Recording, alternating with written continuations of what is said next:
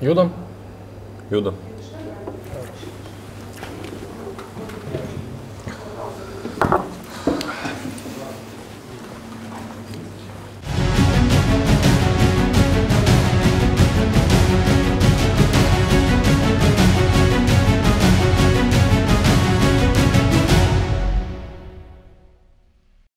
Begalinių bėdų draugijos pagalbos vyrukai vyksta spręsti dar vienos žmonių problemos. Šį kartą meilės trikampis. Mylintis, pavyzdingas šeimos vyras Andrius nori išsaugoti savo byrančią santuoką, tačiau jo mylimoji jau viena koja kito vyriškio glebyje. Tai tikrai nuoširdžiai nelabai suprantu, kas čia įvyko. Tikrai man tokia situacija yra pirmą kartą gyvenime. Tikrai. Aš ta prasme, nu, a- aš nuoširdžiai sakau, esu pavyzdingas vaikinas, vyras. Ir, ir a- aš namuose tvarkausi, visą namų ruošą, indus plaunu, valau grindis, ta prasme, mes dulkių siurblio neturim, tai man reikia viską tenka rankom valyti. Viską blizginu, aš išskalbiu drabužius, aš išnešu viską į lauką, padžiaunu, aš e, kilimus išplaku. Nu, ta prasme, nu, viską darau šituose namuose. O tu kada nors esi prisilietus prie ko nors. Nu, ta prasme, tu bent dulkelę esi pakėlus šituose namuose, ką nors esi padaręs dėl šitų namų. Aš, ne? O kas vakar šiukšlės nešė? A ne, aš Kokios nešiau, ne? Nu- Nieko aš tau čia Nu nedarau. kokias šiukšlės?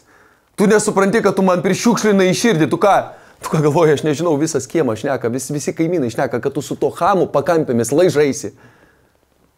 Andriu, žiūrėk, e, aš suprantu tavo skausmą, bet galbūt ne viskas yra taip, kaip tau atrodo. Reikia išgirsti ir Aldonos pusę. Nu, gal ten tiesiog draugas. Žmonės mėgsta plakti piktais liežuviais. Jūs, jums tikrai reikia dar kito vyro, Aldona? Nu kokio dar vyro paprastas draugas, ten tas Andrius kaip prisigalvoja, tai jam kiekvieną dieną kaip naujiena. Koks... Nu... Plok mobiliaką, kokie draugai? Ar tai prašo vienas kitam draugai? Pažiūrėk, va, žinutės. Priviet Aldona. E, Kada Andrelis į darbą išeina? Andrelis, aš. Dabar jos atsakymas. Atvaryk už 15 minučių, aš noriu tau pačių bybį. Nu tai ir čia draugai, ką? Nu, ne draugai. Nu, ar draugai vienas kitam bybį čiulpia? Aš nečiulpiu draugam bybį. Nu jo, čia iš tikrųjų gal kažkaip reikėtų tada jums pasikalbėti, iš tikrųjų išsiaiškinti, nu negražu iš, iš, iš Andrius. Po, aš parašysiu žinutę jam. Nu, arba taip kažkaip. Parašysiu. Nu, kad užkasti visiems laikaušą nežinomybę, nes, nu, suprasti, žmogui irgi skauda Aldoną, tai reikėtų. Sveiks. Čia Andrelis. E, Atvaryk. Reikia sąž... O kaip sąžininkai rašas, gal žino? Man atrodo, kad su anosiniu. Su? Anosinė. Su. Anosinė, Andriu. Ačiū mažyti. Viską reikia įsiaiškinti. O tai va. Nu va ir atvarys. Ir pažiūrėsim. Na, ši istorija pasiekė aukščiausią kulminacijos tašką. Mūsų laukia akistata. Andrius nori išsiaiškinti viską čia ir dabar. Nu, nieko, tu sulauksim tada to vyriškio, išsiaiškinsim, Vaidai, žinok, viskas dar gali Nu, pasikeisti. man įdomu, aš noriu pamatyti, kaip atrodo. O, Tau nedaina, kad į tavęs nebemyli, ką? Duok tu mums ramybės. Tau ką laisvų moterų neužtenka, šeimų griuvėjas. Tai irgi pasirinkta laisvą moterį, aš su Aldonačkas siojau. Aldona, ką jisai turi tokio, ką aš neturiu? Nu, Andriu, nu aš net nežinau, kaip tau paaiškinti. Nu, tu pasižiūrėk, koks jisai unikalus vyras, koks ypatingas, o tu balso iš vis net nesi jo girdėjęs, tiesiog tobulas. O tu, Andriu, ką, tvarkai namus ir man už tai, už tai reikia tave mylėti, ne? O žinok, su Laimonu mes kiekvieną dieną tiek prisižvengiam visą laiką. O ką, už ką tave mylėti, reikia pasakyti. Nebespardai gulinčio žmogaus. Andriu, žiūrėk, aš matau, kad, nu, tikrai čia jau beviltiška situacija, žinok, turi suprasti, kad kartais laimė pabėga. Kartais laimė išeina, kartais tenka mirti vienam, ir, bet žinokit, čia jau, jau nebe tavo yra, žinok.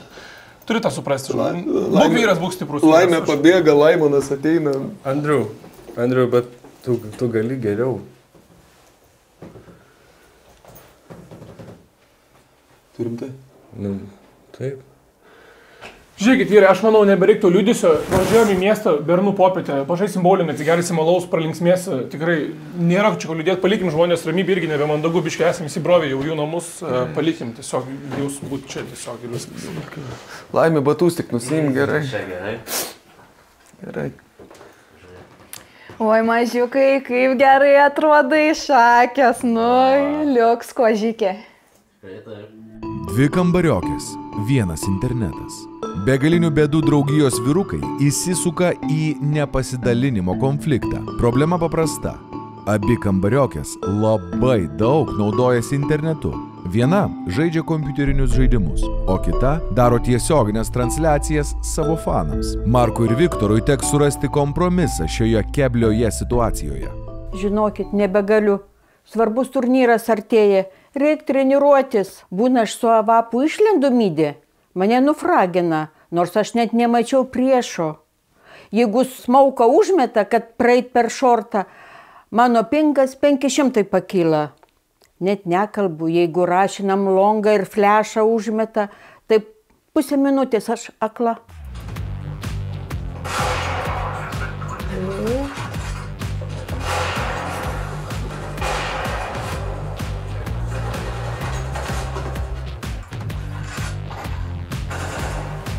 Ar turit kas nors flešą? Aš už priešų komandą mišes užpirksiu ir poteris dar priedo sukalbėsiu. Hebra, einam į B per midą. Šitą vėdą. Užmeskit smauką. Rūkyk žalti. Aš bombą čia palieku ant žemės. Ir varau. Sakiau, kad einam į B. Bus jau mačiutės neklausyti. Jinai nesupranta, kad aš jeigu savo laivų nepadarysiu, negalėsiu už nuomą susimokėti. Čia jinai galvoja, kad tie jos žaidimai svarbesni už tik toko laivus. Pati nei vienos dovanėlės negautų. Aš labai sunkiai dirbu. Na, va, arbatą geriu. Diena graži, saulėta, pavasaris, džiaugiuosi. O ką tu? A, neįdomu. Apie sigal nesidomu, ne, neįdomu man, ne, ne, ne. Yra įdomesnių temų.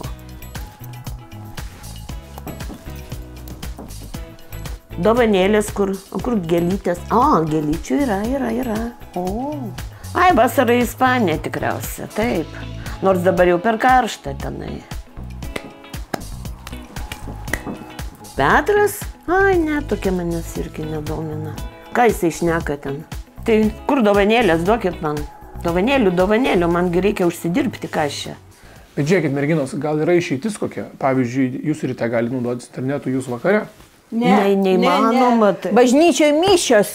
Rytais mumišios. Bet e, ir vakare mišios irgi vyksta, tai viena gali vakare mišios nueiti, o kita ryte. Man ir taip jau nebedaug liko, dar norisi pageiminti ir su anukais pabūti. O jie tokie nubai. Na gerai, aš rytais galiu mažiau naudotis tik toku, nes pagal statistiką man rodo, kad mažiausia žmonių rytais žiūri. Atsimenu, kai išėjo viens šeštas, man tada 70 buvo. Pagalbos prireikė dar vienam šeimos ūkiui. Problemos kaltininkas - visiems iki skausmo pažįstamas alkoholis. Žmona nesusitvarko su savo vyru. Jis tiesiog negeria ir viskas. BBD pagalbos vyrukai ieško sprendimo, kaip sutaikyti šią gražią porą. Vyrai, žinokit, kaip džiaugiuosi, kad atvažiavot. Nu, a, a, aš jau nebežinau, kaip gyventi. Kelintą savaitę. Kelintą savaitę, va, tu sėdi šitas, aš, žinokit, suprasčiau, va, darbo dienom. Kaip savaitgėdis, taip kaip neger, taip neger. Negerai visai. Visiškai negeria.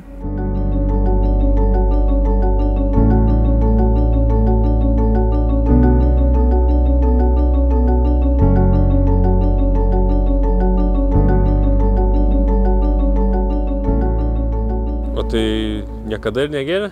Nu, nu va čia taip jau nuo, nuo veselio, nuo, nuo, nuo veselio mes taip jau pa- kažkaip jisai nu- nustojo.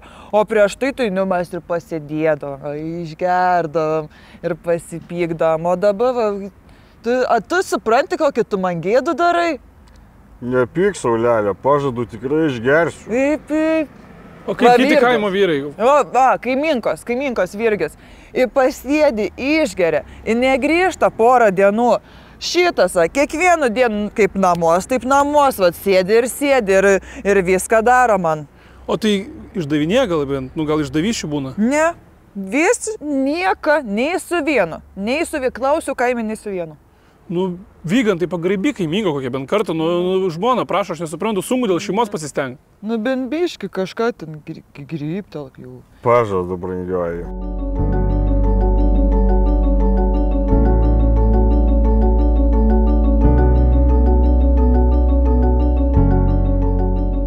O tai, bet tai gal gerai, kad jis negeria. Nu ką gerai, ką gerai, tai matai, kad šeimoje nėra laimės, aš nesuprantu. Vygantai, žiūrėkit, problemos yra sprendžiamos kompromisais. Aš manau, kad jūs turit pasižadėti savo žmonai, kad bent kartą per savaitę pagerisit. Ar galim sutart? Pažadu. Saulytė tikrai, tikrai pažadu Ką išgerti. pažadi? Ką pažadi? Išgerti kartą per savaitę. Ne, ne, ne, aš ne, ne, aš nebetikiu. Jisai kiek visą laiką sako, išgersiu, išgersiu, mažytį išgersiu, išgersiu. Kaip rytas, tai blaivas. Nu baisu tiesiog. Bai, aš nebežinau, žinokit, vyrai jau. Bet jūs suprantat, jeigu jūs toliau negersit, tai mes vėl turėsim grįžti ir turėti šitą pokalbį. Tai, nu, tu prasme. Suprantu. Ir mes tada grįšim, gali būti, jau griežčiau kalbėsim su jumis ir gali būti, kad teks tiesiog jumis išsivežti pagert kartu kažkur. Jo, Ir, nu, turėsit gerti bet kuriuo atveju. Tai negaiškit mūsų laiko yra Vita, bet aš manau, sutvarkys jau. Žmogus suprato, man atrodo. Na, pasižiūrėsim, gal ir sustvarkysim. Nu, tai va, dabar keturios yra. Tai dar ne- iki aštuonių spėsit. Butelaitį pasiimsit išgersit. Nubėgsi pasimsi, gry, nu, bimbiškai, kaip vygantai. Išgers, aišku, tik vygantai mes dar pakalbėsim kartu vyriškai, turim dar porą dalykų pasakyti. Eina. Žiūrėkit, vygantai, mūsų rėmėjas Fantazijos LT šios laidos nori padėti jums su santykiais ir turi tokį rinkinuką, kad jeigu jau labai blogai reikalai būtų, kad šiek tiek padėtų. Tai visų pirma, ką noriu pasakyti, čia jums, jeigu negersit. Šerkliui. Ne, čia tokiam blogam arkliui kaip jūs, kuris negeria. Galite panaudoti kaip norit jums, čia jau ne mūsų gali. Bet čia žmonos bus įrankis, kai negersit, gausit iš šito, supraskite. Kai būsite apsipykę šiek tiek ir norėsit su- su- su- susitaikyti, padaryti geresnį vakarą, čia yra feromonas. Pasipurškit kaip kvepaliukas ir žmoneliai patiks kvapas, sukels emocijas, aistrą ir bus fainas vakaras. Aš manau, nebepyks, jeigu ten netyčia nepagersit vieną vakarą. Nu, čia jau jeigu viskas gerai bus, čia bus jums dviem masažuoklis toksai, čia užsimausit ant savo penio ir e, žmonai ten viskas pasimasažuos, bus labai geras vakaras, bet čia jau kai labai gerai viskas bus, vygantai tu turi suprasti, kad čia gali tik porą kartų per savaitę pagerti.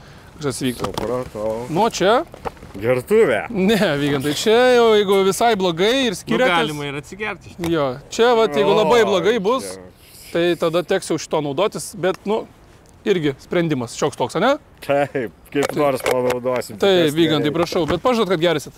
Pažadu, jeigu žmona bus gera, pažadu. Mažiau to sporto. Mažiau to Jo, sporto. nieko gero jis nepriveda, žinai. Gerai, baigsiu tą sportą, matau įtikino su Ir dovanėlėm. tie, kurie sportuoja, ir tie, kurie geria, miršta bet kokiu atveju.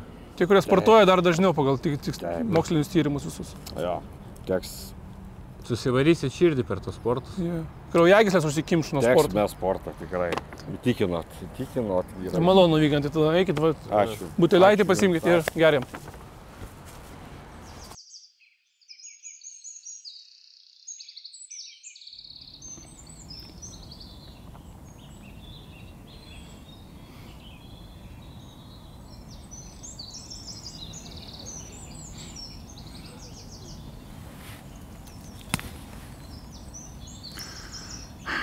Žinai, aš pagalvojau taip, kad mes pastovi bėgam, verčiamės per galvą, bandom visiems padėti, bet ar mes patys gyvenam? Man kažkaip bestrigo tos močiutės žodžiai labai. Kuris sako, kai mes su Hebra rašinam longą. Net nekalbu, jeigu rašinam longą ir Kad aš kažką su savo Hebra, aš reiks paskambinti, aš nieko nebeveikiu su savo Hebra iš viso. Būtent seniai, aš ir noriu pasakyti, mes pamirštam džiaugtis mažais dalykais. Tu nesupranti, kad jį tavęs nebemyli, ką? Kada mes iš vis kartu gėrim, pavyzdžiui. Pažadu, tikrai išgersiu. Tai žiauriai senai mes apskritai labai nutolę esame vienas nuo kito. Žiauriai nutolę, iš tikrųjų beveik iš vis nebebūnam kartu.